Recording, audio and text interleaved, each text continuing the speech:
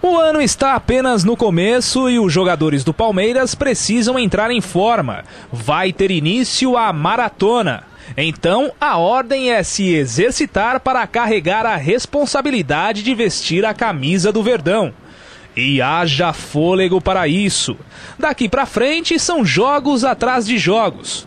No Campeonato Paulista, o Palmeiras não vai bem não é o nono colocado e está a cinco partidas sem vitória. Para voltar a vencer, o Palmeiras terá mais uma chance em 2007. E nada melhor do que a estreia numa nova competição, a Copa do Brasil. Nesta quarta-feira, o Verdão pega o Operário do Mato Grosso. E o técnico Caio Júnior terá que quebrar a cabeça para suprir a ausência de seis jogadores. Eu não vou ter o Paulo Baier, não vou ter o Dininho. Já começo pela defesa.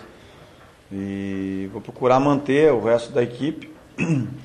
E do meio para frente aí que eu estou com uma dúvida, mas eu vou ter a volta do Valdívia. E o chileno promete voltar com tudo. Recuperado de uma fratura no nariz, Valdívia mostrou que fôlego é com ele mesmo. Tem que correr para ajudar os jogadores que vão entrar nos lugares de Paulo Baier, Dininho, Pierre, Maicon, Edmundo e Osmar.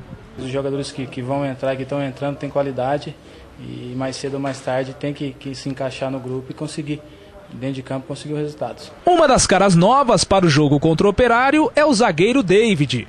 Ele será parceiro de Edmilson na defesa. Tempo para entrosamento não houve. Então a gente vai procurar conversar e, e vamos na, na vontade também. Acho que hoje o futebol também se ganha na vontade também. E para sair de Cuiabá com um resultado positivo, vontade não pode faltar.